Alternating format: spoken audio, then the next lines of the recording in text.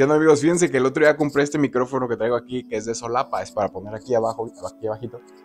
Y dije, obviamente me va a servir para los videos, pero también me va a servir para las entrevistas. Y justamente para esta entrevista que iba a hacer, y lo iba a estrenar y todo pendejo, no, no revisé que no lo prendí o no lo conecté bien o no sé qué pasó. Y no sonó y valió madre toda esa hora. Cristian, de aquí de Guadalajara, tengo 30 años. Tengo 4 años. Por la adrenalina, yo creo. No, por los domingos nomás. Domingos todo, todo el día.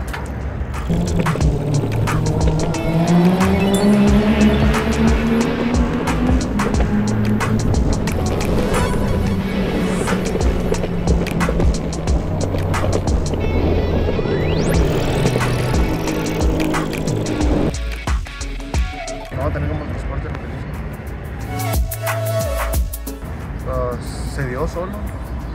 Me enseñó un amigo de California. Me regaló una patineta. Y ya, pues ahí le agarré el gusto.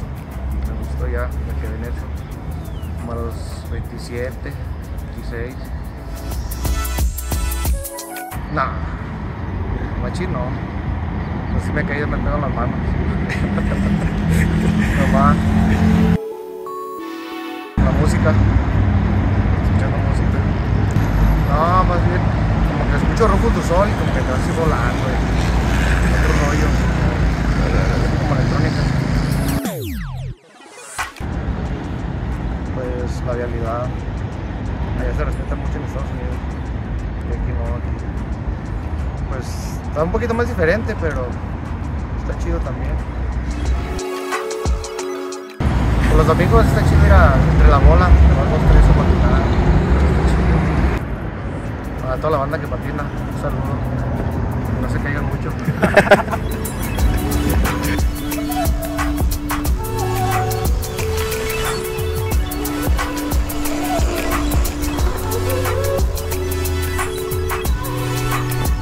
Por el día de hoy yo creo que acabamos, chavos, porque está bien cabrón esa bajada. Muchas gracias aquí a mi compa. Por jalar a enseñarnos un, rato aquí de downhill.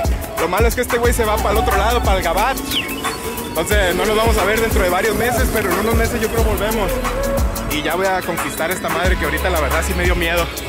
No voy a mentir, pero se siente muy chido, muy recomendado.